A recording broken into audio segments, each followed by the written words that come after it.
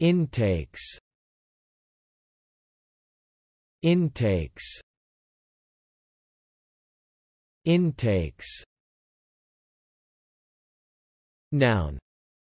Definition. An amount of food, air, or another substance taken into the body.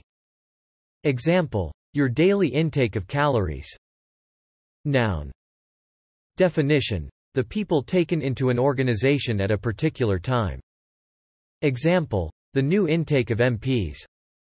Noun. Definition.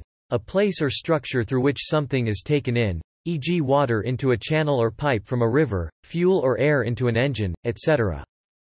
Example. Cut rectangular holes for the air intake. Thanks for watching this video. Be sure to subscribe to our channel to get more free learning resources.